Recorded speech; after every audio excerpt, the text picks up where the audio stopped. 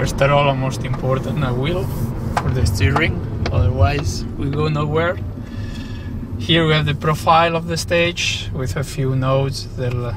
How long is the climb?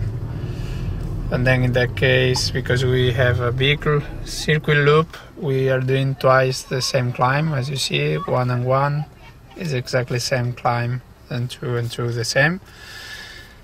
And then we have here starting list with the gaps in the GC.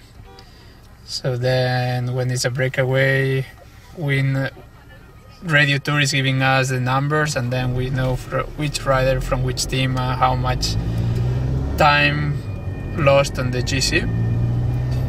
Then we have all the tech issues with the radio to speak to the riders. Another rider like this one in there to talk to the other team car, the other director, and as well a radio tour. And finally the TV when sometimes it works, sometimes not. It depends on the strongness of the signal.